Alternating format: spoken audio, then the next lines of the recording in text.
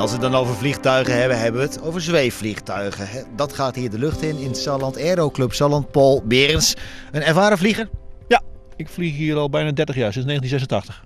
Ben je nou iemand die heel graag piloot had willen worden, maar ja, dat dit niet kon en daarom maar eens gaan zweefvliegen? Stiekem een klein beetje wel natuurlijk. Maar aan de andere kant vind ik het ook nog altijd leuk om een baan te hebben en als passie het zweefvliegen. Want dat is eh, ja, meer dan een hobby. We hebben een beetje pech vandaag. Hè. Normaal gesproken moet je mooi weer hebben, maar heb je een hoop warmte heb je ook nodig. Hè. Dan heb je thermiek, dan kun je heel lang zweven.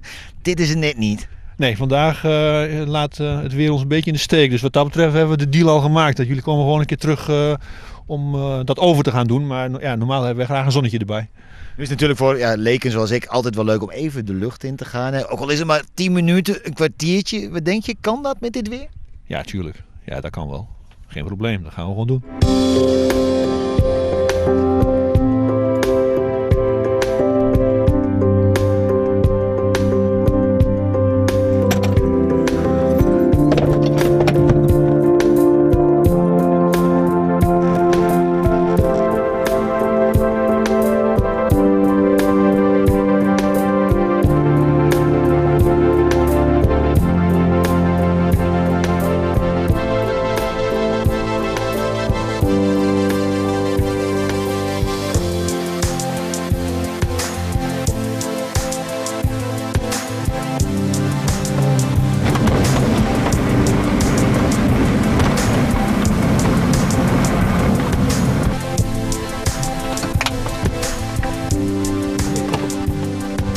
Zo.